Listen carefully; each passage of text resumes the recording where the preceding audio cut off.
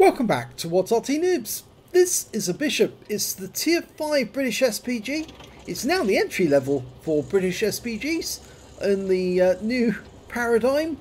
And uh, this one is located on the southwest spawn of Highway and it's under the command of Moose. Now he's recently just rebought his Bishop. He sold his Bishop and his uh, but he was trying them out again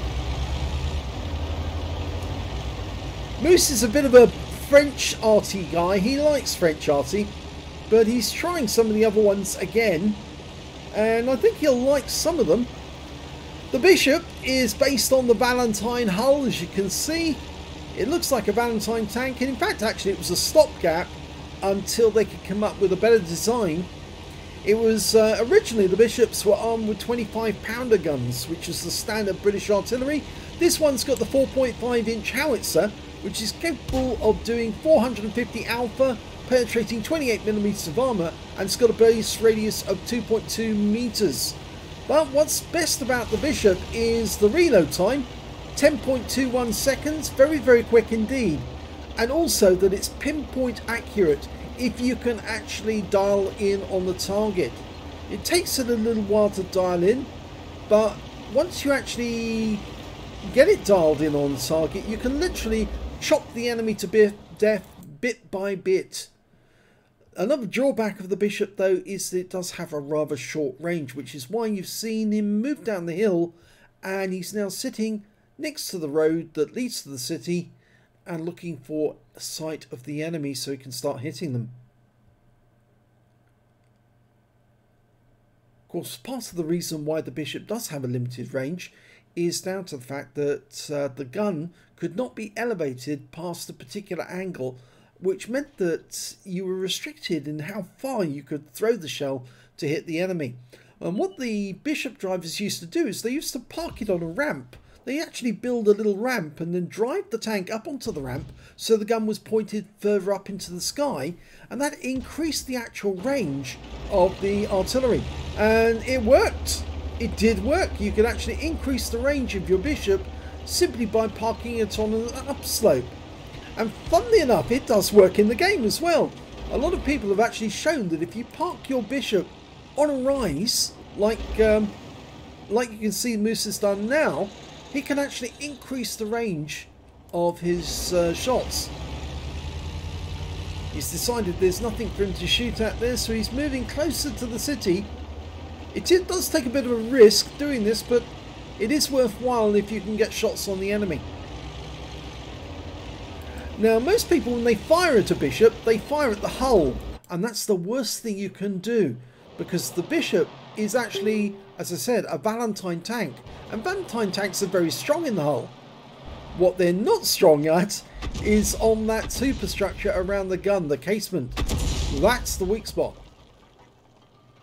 But of course, most players don't know that. Arty players know it. Look, there's a kill. Took out the Stug 3G. One shot. Just goes to show how powerful this gun can be in the right hands. That 14 TP is on the move. He's trying to dial ahead of him. Gets a direct hit anyway for 147. Oh, he's stationary now. Can we get another round in to kill him? Going for the rear of him. Hits him again. Tracks him. Keeps him there. If you can get one more shot on target, you might be able to take the guy out. Rounds out. Oh, close. He got a low roll. But the next shot will definitely kill him. Almost loaded. Rounds out straight away. And it does kill him. Okay, we're looking at a T1 Heavy. It's a difficult shot because he's trying to thread it between two buildings. And I'm not sure he can do that. But he can certainly hit that M4A1 and he's going for that one instead. Rounds out, direct hit. And the M4A1 didn't like that in the slightest. Um, they're getting rather close, so Moose is pulling back. There's only one enemy tank in sight at the moment, and that's the Sherman Jumbo, the M4A3E2. He's pulling back a bit because he doesn't know where the other enemy tanks are. That might... Oh, there's the other one, the M4A1 on the move.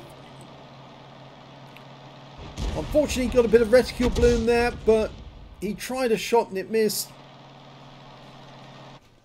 Well, that M4A1 is headed straight back to his own cap area because I think he realises our guys are getting rather close. The Sherman Jumbo's hiding behind that building in an arty-safe position. And despite the fact that the shell from the Bishop does actually fire, go up very high and come back down very quickly, that Sherman was staying arty safe. Now, can we get around into him if he pulls forward? Rounds out. Yes!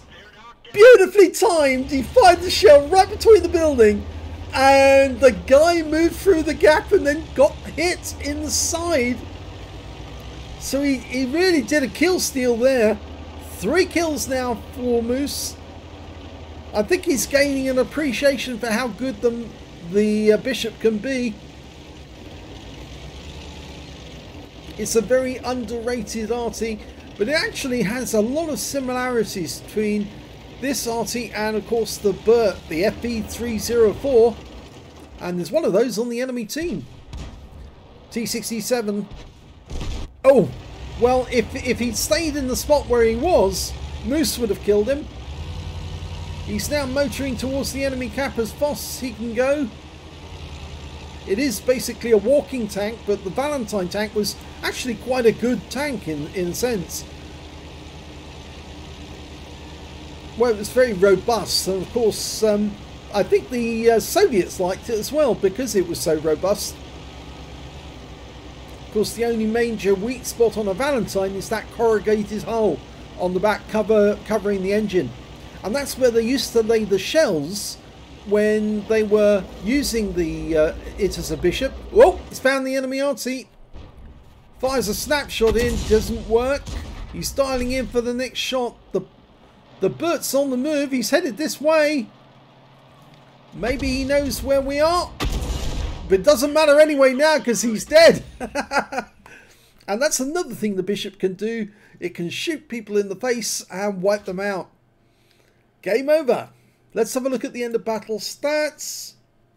Well, it's a first mark of excellence for Moose in the bishop. He didn't get a lot of kills in that game or a lot of damage. He only got a second class tanker. He got a bruiser medal for getting at least five critical hits. He got nine. And he got a fighter badge for getting at least four kills. He got four exactly. But the first mark is very welcome because it proves that you're back on schedule to uh, mastering this vehicle. Let's have a look at the uh, team scores. He didn't get the highest damage in the game. That actually went to the M18 Hellcat, got 1,482 hit points, but Moose wasn't that far behind. 1,237. If he'd done a few more hits, I think he probably would have got a high caliber after that game. When it came to kills, he did have the top number. Four kills for him, Three kills for the Hellcat and three kills for the FV304 on the enemy team. Two kills for the T34 and the VK3001D. When it came to base XP, it was the Churchill 1 who got the best. 840 for him, 767 for the Hellcat, and then Moose came in third with 642. He fired 13 rounds, got 8 direct hits, 1 penetration, 7 splash. Damage of 1,237 hit points, of which 397 were up more than 300 meters. So you can see he was very close to the enemy as he was doing that damage. Five enemy vehicles were damaged, Four were killed, and he earned 17,352 credits on a premium account, got 13,014 from personal reserves, total 39,042, and after ammunition resupply, took away 35,792 credits. He received 642 XP, got times 2 on this occasion, 963 from personal reserves, 482 from personal missions payout, and took away 3,371 experience points altogether. So the first mark's on, now he's got to get the second one. But I think you'll find, Moose, that the Bishop actually can be quite an OP tank because we do have members of WOT Arty Noobs who've actually managed to get Radley Walters medals in the Bishop by literally carving through the enemy and tearing them up one by one. So if you ever get a hankling to see a Bishop getting a Radley Walters, look into our list. We've got a playlist called Arty Radley Walters and there's plenty of bishop games in there where they've earned at least eight kills so pay attention to that because you might then realize how good this tank can be this arty can be in the right hands Uh, but well done to Moose. If you enjoyed this replay, please give this video a like and do subscribe to our channel. And thank you for watching.